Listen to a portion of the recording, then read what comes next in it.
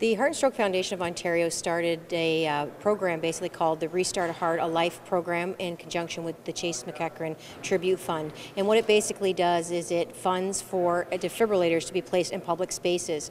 In Canada alone, over 40,000 Canadians suffer from cardiac arrest every year. 7,000 of those cardiac arrests happen in Ontario. If nothing's done, just 911 called, maybe 3 to 5% of those people survive. But if we can actually, uh, in conjunction with using a defibrillator and getting CPR started, the chances of survival for those people go up by over 50%. Okay, so if I'm walking into the environment and I notice that somebody is, is unconscious and unresponsive, hello, wake up, wake up, wake up, can you hear me? Adam, go call 911 and get the AED and bring it right back to me, okay? Open up the airway, look, listen, and feel.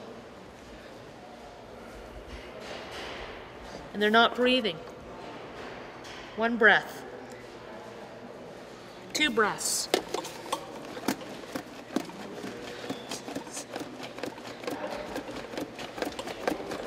There you go, Cheryl. Oh, excellent. Thank you, Adam. Can you open the case for me? Certainly.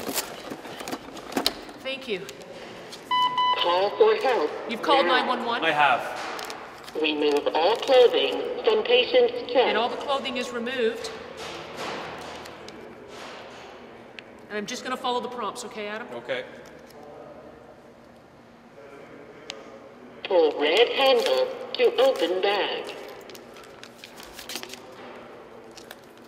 Look at pictures on pads. Peel one pad off blue plastic. Apply pad to bare skin, exactly as shown in the picture. Press pad firmly.